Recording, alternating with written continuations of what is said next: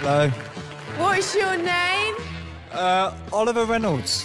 Where are you from? Uh, Milton Keynes. What do you do for a living? I, I wrecked marquees. Fantastic. Best of luck then.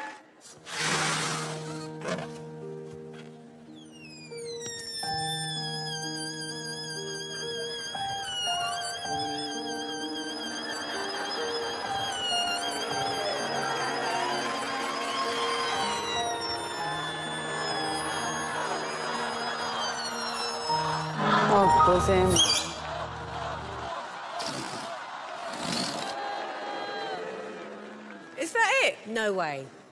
Yeah, that was it. That's it.